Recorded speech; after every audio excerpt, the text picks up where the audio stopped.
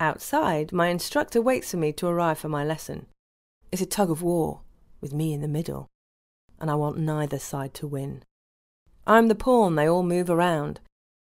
And every morning they push me outside to be taken down by Sifu Chen.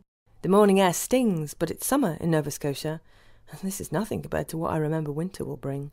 If I could keep you little, I'd hum you lullabies. But then I'd miss you singing, your concert's big surprise. If I could keep you little, I'd hold your hand everywhere. But then I'd miss you knowing I can go, you stay there. I say, Elmer, remarked Lion, that's a bit of a racket your chaps are making. Hmm. I'm sorry, said Elmer, but the preparations are as much fun as the parade itself.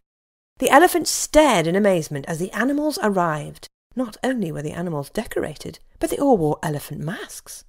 Here, you see, it's still an elephant parade, Lion laughed. Let's begin, called Elmer from the front of the parade. From now on, everyone can join in the Elmer's Day parade, as long as they wear an elephant mask. And everyone, said Elmer, means everyone.